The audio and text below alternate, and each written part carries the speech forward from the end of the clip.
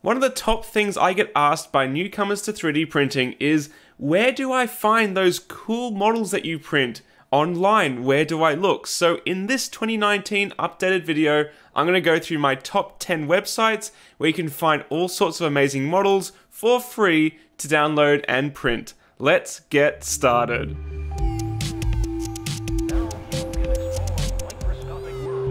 How's it going, guys? Angus here from Maker's Muse. We're going to kick things off with Thingiverse. It's going to be no surprise to anybody. Thingiverse was originally created by MakerBot years and years and years ago, and it was the first real 3D printing file repository. Originally, it wasn't even for 3D printing. You could get laser cutting files and anything you could use to download and then make stuff. But it quickly became known as the go to place for STL models for 3D printing. Now, these days it's owned by Stratasys, which bought MakerBot.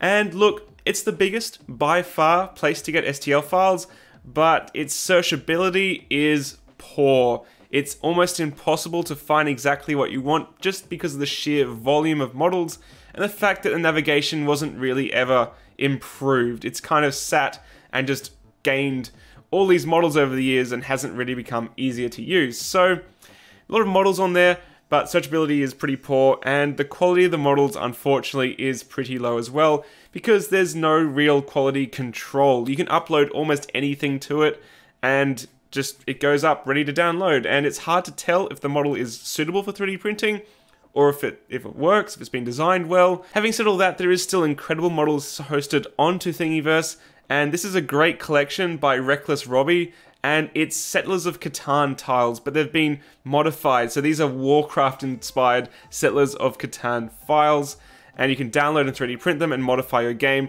So that's really, really cool. A great use for 3D printing.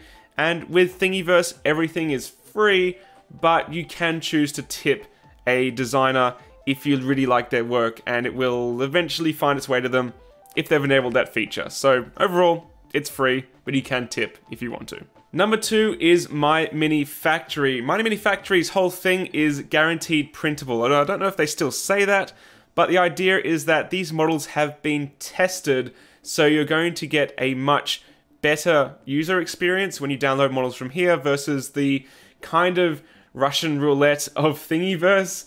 But there's a less uh, less wide selection. Having said that, though, My Mini Factory has exploded since I featured it last, and there is so many models on here my personal favorite are the models from the Scan the World initiative, where people go to museums around the world and sites and 3D scan things like statues and artifacts, and then make them available for free to download and print. So, for example, you would have seen this on the channel. This is the Gayer-Anderson cat, which is an Egyptian cat, and it's it's a fantastic artifact and a very fantastic 3D print. The, the scan is very high quality, and I love to print this to test out my 3D printers.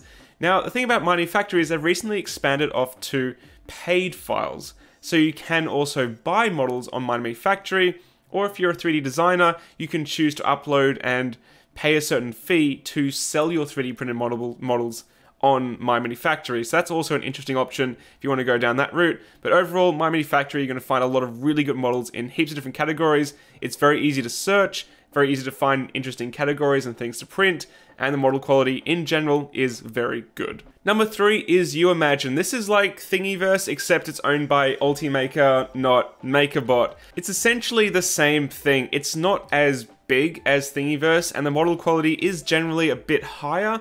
Now, I don't use YouMagine personally very often, but there are a few designers that use it almost exclusively because it's got such a good sort of open source following. The Creative Commons licenses and stuff are very well respected here, and you can get lots of really neat models on it. So, as a great example, would be the OpenRC stuff done by Daniel Norée. Uh, if you don't know Daniel Norée, why? Go follow his work. This is the OpenRC F1 dual color McLaren edition. Uh, this is a fully 3D printable remote control car, and it's amazing. Daniel has done incredible work, and he's uploaded this free to print, modify, and create. So YouMagine does have some really, really cool models on there. It's just not as big, I'd say, as what My Mini Factory has become, and uh, definitely not as big as Thingiverse. In terms of cost, I don't think anything on YouMagine has any price. I think it's all free because, as I said, the whole idea is open source designs. So yeah, you're not going to really pay for anything on YouMagine. But again, if you do like someone's work, you should seek out a way to tip them and show your support. Up next is Cults 3D, a French founded 3D file repository where you can find incredibly high quality models that are free and or paid. So you can also sell your models on this website or you can buy them for buying very high quality files or you can also find very good 3D printable files that are free. Uh, thing about thing I like about Cults 3D is there's a very high aesthetic level. So a lot of the models on here are very well designed in terms of their aesthetics. They, they look very good if you're going to be printing demo models. Um, and a lot of designers find their home here because you can be financially supported on here, and you'll find a good mix of free and paid models from them generally. In terms of searching, it's very easy. There's a lot of very good categories here like art, fashion, jewelry, home, and you'll also get various promotions and they do contests as well. My Mini Factory as well do contests, which is a great way of bringing lots of new models in and new uh, users. But in terms of featuring an artist uh, designer on here, you can't go past Yuri of 3D Workbench. Um, prolific designer, does a lot of amazing cosplay stuff, so cosplay weapons. Uh, you got a Pokeball there. Um, he does charge for a lot of these models, but a lot of them are free as well. So, for example, he did the McDonald's. I remember when he was modeling this, freaking ridiculous like mech hamburger. Um, and then like this is a transformer model that is free. So you can't go past Yuri's work, and he hosts it up here on uh, Cults 3D. Next up, we have the models uploaded by the Smithsonian. Now, I did feature this in my previous video quite a while ago, and I'm happy to say that this is still active.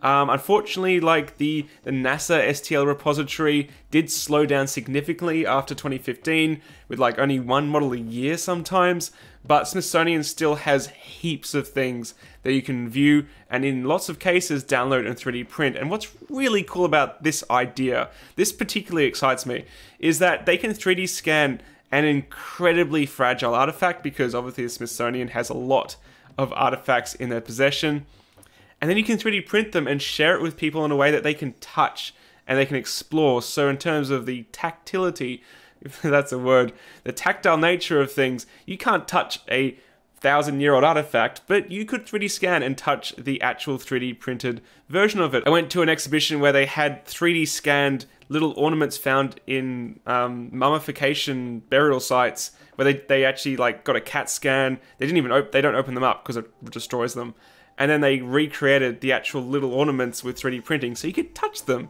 And that's fantastic. So, as a great example of what the Smithsonian has done, this is a fantastic little cat ornament. The quality of the 3D scans are incredible in most cases, uh, depending on the object they're scanning. This is a little wooden cat, absolutely spectacular.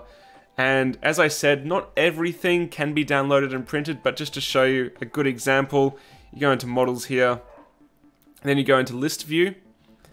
And if it says downloadable, then it highly likely will have an STL file to print. And the th cool thing about the Smithsonian models is if it's got an STL file for 3D printing, it's been made watertight. So it's been wrapped and prepared to be 3D printable without any issues. And so, for example, this one, this basket, 3D scan basket. That's one. They got some good scanners.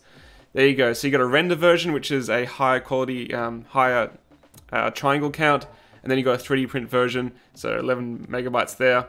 In terms of cost, there is no cost to these models. You can download and 3D print them, but their terms are very specific. They are for non-commercial use, they are for personal use, and they're for education. So don't print these and try to sell them or anything. That's against their terms of service. You can only really use these models if they're just for personal, not-for-profit use, um, and for educational use.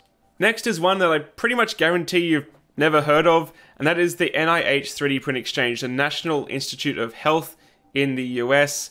And this is like an exchange of models for health professionals and teaching. So, this is fantastic for scientific models and things that not many people would really understand or know about, but for teaching a difficult, complicated subject, I can see this being incredibly valuable and I can see why something like this is so useful because you can connect with different educators around the country and around the world and share a model to 3D print for your for your ed education. So one that I found really interesting was this fluid field vestibular apparatus for vertigo education. and it's a DIY project, and I actually made a video about it um, and where to get the the actual parts for it. And it, it's it educates how positional vertigo works. Like, I don't know how it works, but I'm sure if I went through the DIY process of printing this model and then putting it together, I'd figure it out and learn. So that's just really neat. So niche, but in terms of education, it's invaluable. So definitely check it out.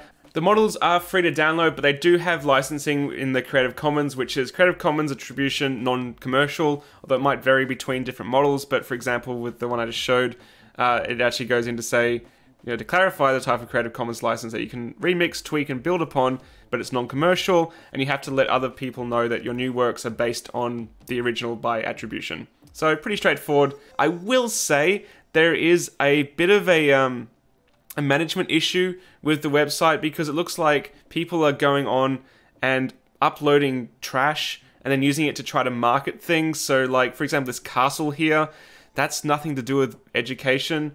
Um, you know, another one there, another one there. You can see here a regiment of degenerative lumbar spine something something. Like that's not that's not use, useful for this website. Um, but there's other stuff, like that's the uh, that's the Vertigo uh, teaching model, syringe cutting tool adapter, all sorts of really niche things for medical industry, for teaching uh, in the medical field.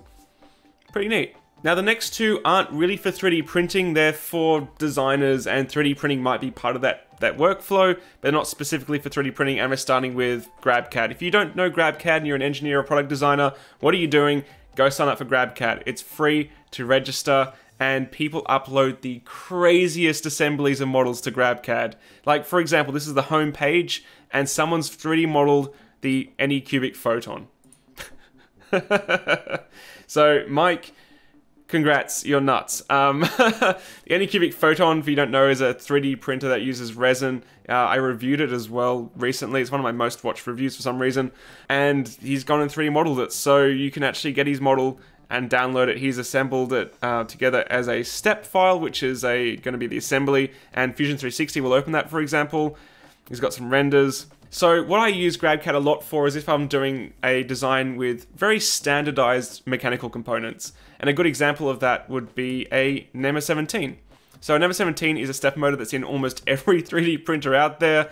And why would you 3D model one from scratch when it's such a standard component? There's heaps on GrabCAD for a start, but you can grab one. So this is from Murad Forder Rahman. I'm sorry, I'm bad with names. Um, and he's uploaded this uh, in step format. I do need to stress that a lot of these models can be in like SolidWorks format or uh, Autodesk Inventor. I do think Fusion 360 will open SolidWorks files and Inventor files, but I don't believe you get to keep the feature tree. So keep it in mind.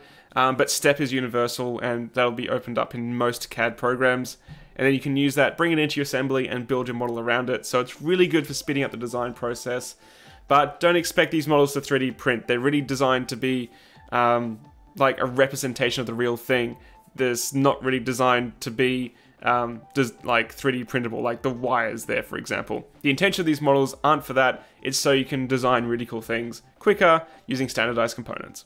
Next, we have an absolute goldmine for engineers and product designers, just like GrabCAD, except even more specific, we have trace parts. So picture this, you're a company that provides timing pulleys and gears and all sorts of things.